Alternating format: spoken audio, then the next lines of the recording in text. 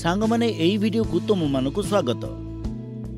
ଏ ପର୍ଯ୍ୟନ୍ତ ଆମେ ଜାଣିଲେ ପରିମେୟ ସଂଖ୍ୟାର ଯୋଗ ବିୟୋଗ ଏବଂ ଗୁଣନ ମଧ୍ୟ ସମୃଦ୍ଧି ନିୟମ ପାଳନ କରିଥାଏ।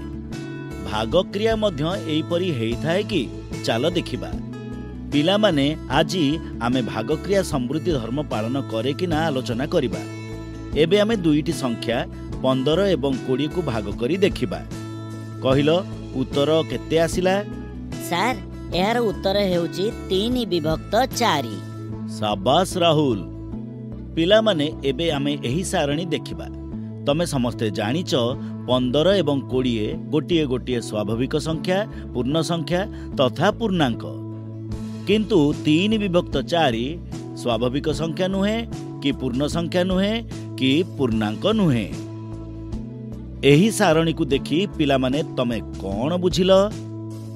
ସାର୍ ଆମେ ଏହି ସାରଣୀକୁ ଦେଖି ବୁଝିପାରୁଛୁ ଯେ ସ୍ୱାଭାବିକ ସଂଖ୍ୟା ପୂର୍ଣ୍ଣ ସଂଖ୍ୟା ତଥା ପୂର୍ଣ୍ଣାଙ୍କର ଭାଗକ୍ରିୟା ସମୃଦ୍ଧି ନିୟମ ପାଳନ କରେ ନାହିଁ। ସାବାସ ରାହୁଲ ତମେ ଠିକ ଉତ୍ତର ଦେଇଛ। ସାର୍ କିନ୍ତୁ ପରିମେୟ ସଂଖ୍ୟା କ୍ଷେତ୍ରରେ ମଧ୍ୟ ସମାନ ନିୟମ ରହିଛି କି? ଚାଲ ଦେଖିବା। ଚାଲ ଆମେ କୌଣସି ଦୁଇଟି ସଂଖ୍ୟାର ଭାଗ କରିବା। ଯେପରିକି ଦୁଇ ବିଭକ୍ତ ସାତକୁ ପାଞ୍ଚ ବିଭକ୍ତ ଚାରିରେ ଭାଗ କଲେ କେତେ ମିଳିବ?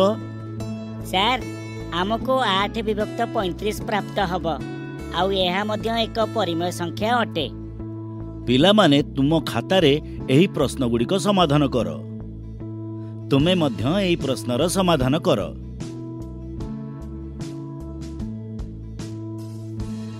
ଆଶା କରୁଛି ତୁମର ଉତ୍ତର ମଧ୍ୟ ଏକ ପରିମେୟ ସଂଖ୍ୟା ହୋଇଥିବ। ପିଲାମାନେ ଏହି ଉଦାହରଣରୁ ତୁମେ ଭାଗକ୍ରିୟାର ସମୃଦ୍ଧି ନିୟମ ବିଷୟରେ କ'ଣ ଜାଣିଲ? ସାର୍ ଯେତେବେଳେ ଦୁଇଟି ପରିମେୟ ସଂଖ୍ୟାକୁ ଭାଗ କରାଯାଏ ଆମକୁ ଉତ୍ତରରେ ସବୁବେଳେ ପରିମେୟ ସଂଖ୍ୟା ମିଳିଥାଏ। ତେଣୁ ଆମେ କହିପାରିବା ଯେ ପରିମେୟ ସଂଖ୍ୟା ଗୁଡ଼ିକ ଭାଗକ୍ରିୟା ସମୃଦ୍ଧି ଧର୍ମ ପାଳନ କରିଥାନ୍ତି। ନା ମୋହନ ଏପରି ହୁଏ ନାହିଁ। ମୁଁ ବୁଝାଇ ଦଉଛି। ପିଲାମାନେ ଏବେ କହିଲ ଶୂନ ଏକ ପରିମେୟ ସଂଖ୍ୟା କି? ହଁ ସାର୍। ଯେହେତୁ ଶୂନକୁ ଆମେ ପି ବିଭକ୍ତ କ୍ୟୁ ଭାବରେ ଲେଖିପାରିବା ନାହିଁ ଯେଉଁଠାରେ କି କ୍ୟୁର ମୂଲ୍ୟ ଶୂନ୍ୟ ସହିତ ସମାନ ନୁହେଁ କ୍ୟୁ ଯେକୌଣସି ସଂଖ୍ୟା ହେଇପାରିବ ଯେପରିକି ଦୁଇ। ଚାଲ କୌଣସି ପରିମେୟ ସଂଖ୍ୟାକୁ ଶୂନରେ ଭାଗ କରି ଦେଖିବା। ଯେପରିକି ଦୁଇ ବିଭକ୍ତ ଶୂନ। ତେବେ ମଧ୍ୟ ଏକ ପରିମେୟ ସଂଖ୍ୟା ମିଳିବ କି? ଦୁଇ ହରଣ ଶୂନକୁ ଆମେ ଦୁଇ ବିଭକ୍ତ ଶୂନ ମଧ୍ୟ ଲେଖିପାରିବା ଯାହାକି ଏକ ଅନିର୍ଣ୍ଣୟ ବା ନଟ୍ ଡିଫାଇନ୍ଡ ସଂଖ୍ୟା ହେଇଥାଏ। ଠିକ ଉତ୍ତର ଦେଲ ମୋହନ ଏଥିରୁ କ'ଣ ଜଣାପଡ଼ିଲା?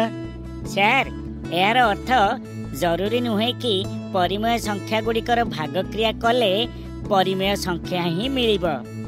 ସାର୍ ତେବେ ତ ପରିମେୟ ସଂଖ୍ୟାର ଭାଗକ୍ରିୟା ସମୃଦ୍ଧି ନିୟମ ପାଳନ କରେ ନାହିଁ ହଁ ପିଲାମାନେ ପରିମେୟ ସଂଖ୍ୟାର ହରଣ ସମୃଦ୍ଧି ନିୟମ ପାଳନ କରେ ନାହିଁ।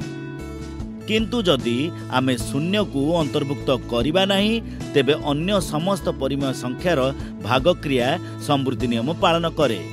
ପିଲାମାନେ ଏପର୍ଯ୍ୟନ୍ତ ଆମେ ସମସ୍ତ କ୍ରିୟା ପାଇଁ ପରିମେୟ ସଂଖ୍ୟା ଗୁଡ଼ିକର ସମୃଦ୍ଧି ଧର୍ମ ବିଷୟରେ ଶିକ୍ଷା କଲେ ଏବଂ ଆମେ ଦେଖିଲେ ଯେ ପରିମେୟ ସଂଖ୍ୟା ଗୁଡ଼ିକର ଯୋଗ ବିୟୋଗ ତଥା ଗୁଣନ ସମୃଦ୍ଧି ନିୟମ ପାଳନ କରେ କିନ୍ତୁ ଭାଗକ୍ରିୟା ସମୃଦ୍ଧି ନିୟମ ପାଳନ କରେ ନାହିଁ। ଏହା ସହିତ ଏହି ଅଧିବେଶନ ଏଇଠାରେ ଶେଷ ହେଲା। ଧନ୍ୟବାଦ।